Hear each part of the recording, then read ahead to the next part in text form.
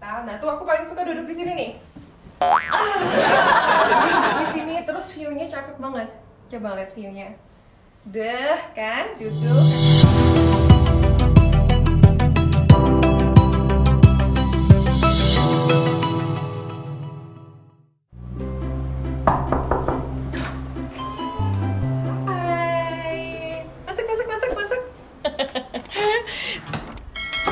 Pintunya kunci. Ya gitu dong. Selamat datang teman-teman di rumahnya Binai apartemennya Binai nah teman-teman karena banyak banget yang request pingin uh, aku bikin uh, room tour gitu kan ya apartemen kita. Dan oke okay, let's do it right? So welcome. Nah jadi dari pintu masuk tadi teman-teman uh, tahu pintunya itu kita langsung ke dapur.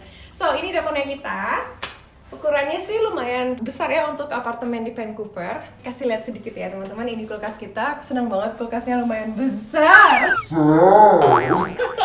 Dulu kulkas kita tuh kecil banget, tapi sekarang huh, dapat yang gede itu happy-nya luar biasa. Nah, isinya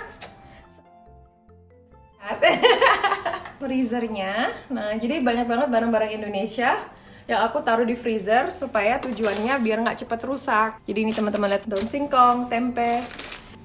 Oke, okay, lanjut teman-teman. Nah ini banyak banget lemarinya yang ada di dapur ini, makanya aku suka banget dapurnya. Ini kita taruh untuk semua gelas-gelas, gelas minum biasa, gelas wine, gelas alkohol dan segala macamnya kita penggemar Marie Kondo banget teman-teman. Jadi lihat ya semuanya organize.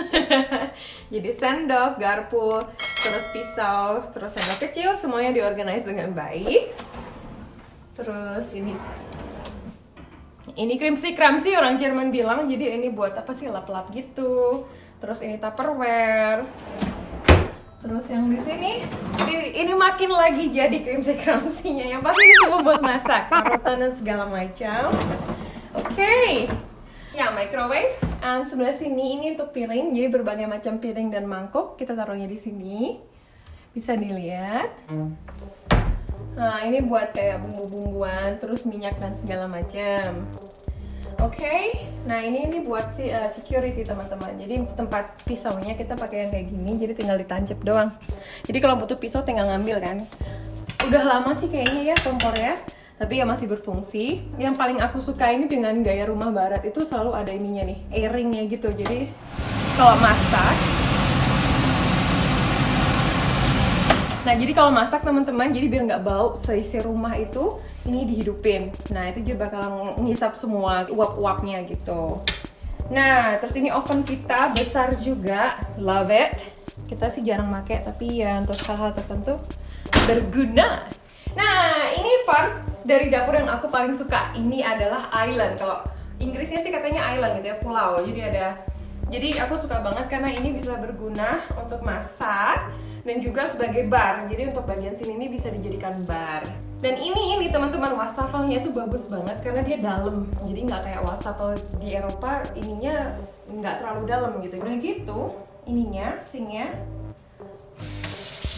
bisa ditarik gitu kan terus kalau dipencet. Ah, jadi ngebersihinnya. Jadi ngebersihinnya juga gampang teman-teman. So oke okay, itu dia dapur aku dapur dapurnya si Mbak Mawar. Dan selanjutnya sini aku mau nunjukin. Sebentar doang ya. Jadi nggak banyak banget ngeliatinnya. Ini pantry kita teman-teman. Pantry slash storage slash everything. Jadi uh, ini lumayan organize juga. Terus Nah, udah dari pantry, next door, ini adalah guest room. Uh, not the guest room, toilet guest, uh, toilet guest. Nah, ini teman-teman, kalau teman-teman lihat, simple banget, tapi bathtubnya ada di sini. Ya, right. Oke, okay. terus aku suka banget ini nih kacanya teman-teman, karena frame-nya cakep banget. Makanya, nah ini nih udah dari bawaan dari yang punya rumah ini ruang makan kita. Jadi nyatu sama ruang tamu. Jadi lebih besar aja gitu kan. Kalau ada sekatnya jadi kesannya kecil. Nah jadi di sini tempat makan kita. Dan biasanya sama teman-teman aku. Pasti teman-teman familiar banget kan? Karena kalau nonton vlognya Bina tahu aku sama teman-teman makannya di mana. Jadi nah meja ini tuh kita suka banget karena ini bisa di extend kalau dibuka jadi bisa lebih besar. Nah ini unik banget nih teman-teman, kita jamnya ada tiga nih. Kalau yang kiri ini jamnya Kanada, terus yang ini jam orang tuanya Basti di Salzburg, dan ini jam orang tua aku di Kalimantan Timur. Kita juga sering bingung sih teman-teman, cuman kalau dilihat sambil mikir Basti nggak ngeh. nah ini foto-foto kita. We have like a secret room. Sebelah sini, wah kacanya gede banget nih teman-teman ya. Kalau digeser,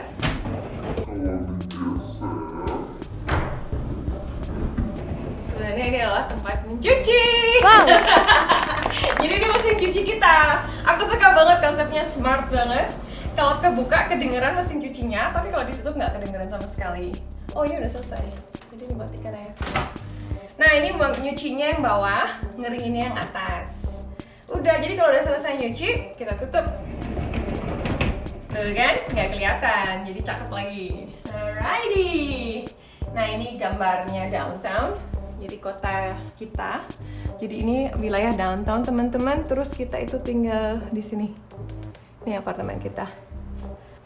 Nah ini daerah living room yang aku juga suka. Jadi aku coba gayanya lebih simple tapi oke. nah ini tempat aku sama bro buat enjoy. Jadi ini couchnya kita. Ini bisa di pull out teman-teman. Kalau ini kalau dibuka keluar, ini bakal jadi tempat tidur. Keren kan? Nah jadi sini biasanya kita. Nah tuh aku paling suka duduk di sini nih. Ah, jadi duduk di sini terus view-nya cakep banget. Coba lihat view-nya. Udah kan? Terus ke kiri lihat view, ke kanan lihat TV. Keren deh. Kita suka. Nah, jadi semua barang-barang ini teman-teman, itu aku yang yang yang pilih karena dulu waktu masih di Salzburg itu apartemennya Bro, ah no way furniture ya teman-teman, all black. so, let's get to our sleeping room. Alexa, turn on the light. Okay. Good girl. so, yeah, welcome. This is our sleeping room, guys. Dan ya, ada si gajah, ada si babi. Jadi nggak cuma aku sama si bro doang. Nah, biasanya kalau kita tidur itu ininya kita turunin. Cuman kalau siang gini kan bagus ininya ya. Kalau malam mau tidur sih kita turunin. Jadinya lebih dark, lebih dark. Cuman kalau siang udara bagus. Wah, view-nya deh. Ini view aku teman-teman kalau bangun tidur. Kalau ininya dibuka. Oke. Okay? There is our balcony. So this from our sleeping room. So this is my my wardrobe. Aku yang paling suka di sini ya dengan model apartemennya Kanada itu uh, apa sih namanya lemarinya itu nempel di buildingnya. Jadi udah kita nggak perlu beli lemari. Nih, jadi kalau dibukakan itu sudah built in. Jadi ini bagian ini lemari aku. Jadi semua barang-barang aku di sini. Nah ini kamar mandi kita. Jadi kita nggak pakai bathtub. Kita itu pakainya shower jadi nggak ada bathtub jadi pakai shower. Tapi kalau untuk ini lebih praktis ya kalau pagi-pagi. Let's go to the balcony. Let's see the view from the balcony. Jadi ini tinggal dibuka. Oh udah kebuka. Nah kalau summer duduk di sini nih. Cakep bro juga bikin lampu-lampu.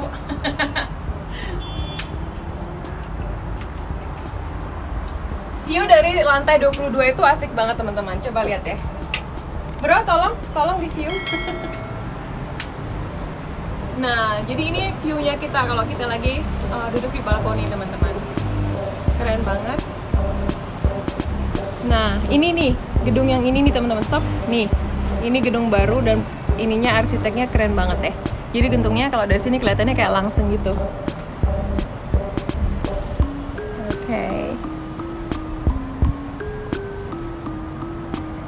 We still have one room left to show you which is our working working room what office slash guest room slash whatever we want to do about that.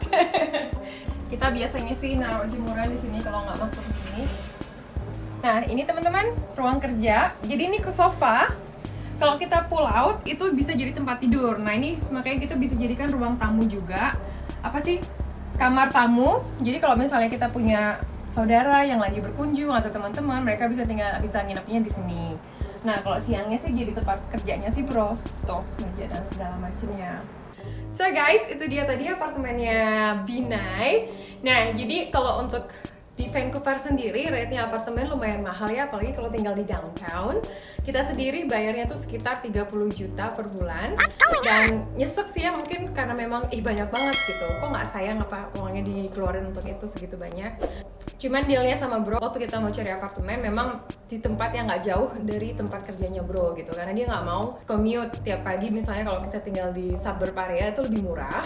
Tapi kan si bronya harus naik skytrain dan segala macam. Jadi itu akhirnya kita pertimbangkan ya udah deh kita mau enjoy life juga. Jadi ya kita pikir-pikir ya udahlah dia kerja aku juga kerja. It's okay gitu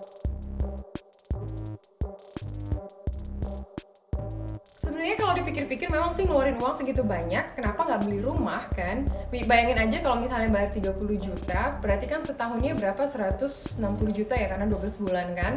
Dan kalau kita tinggal selima tahun dikalikan 5 wah banyak lah gitu kan? Nah cuman rumah di sini juga nggak nggak murah teman-teman gitu. Jadi kalau mau beli rumah juga untuk satu untuk 10 miliar itu tuh masih nggak dapat yang bagus. Jadi rumah di sini harganya ngeri banget gitu. Jadi akhirnya ya udah deh kita mikir karena karena alasan yang lain juga kita tuh nggak tahu kalau kita emang bakal tinggal di sini untuk berapa lama atau kita bakal balik lagi ke Eropa atau mungkin kita mau pindah ke tempat yang lain gitu kan. Nah jadinya aku mau tusin sama bro ya udah deh kita nyewa aja. Nah enaknya lagi tuh teman-teman. Jadi kalau uh, apartemen-apartemen di, Vancouver sendiri kalau downtown dia tuh ada concierge.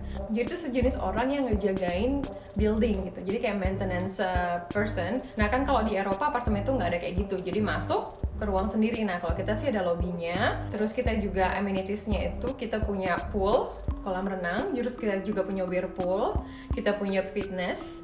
Terus kita punya sauna itu yang bener-bener bikin kita kayak wow. Jadi kayak berasa tinggal di hotel gitu. Nah jadi ini ukurannya untuk apartemen di Vancouver teman-teman itu gede.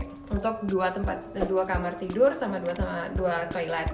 Karena banyak sih apartemen yang baru dibikin tapi ukurannya semakin menyusut semakin kecil dan semakin kecil. Nah kita bersyukur banget dapat apartemen ini. Jadi nggak nggak new building banget juga tapi seenggaknya sasinya bagus dan juga maintenance-nya juga oke okay, gitu. Jadi kita juga happy Thank you guys for watching and see you in the next video dan semoga semua keadaan ini segera berlalu jadi aku bisa invite teman-teman aku buat makan-makan lagi di tempat kita. Oke? Okay? See you next time. Bye bye.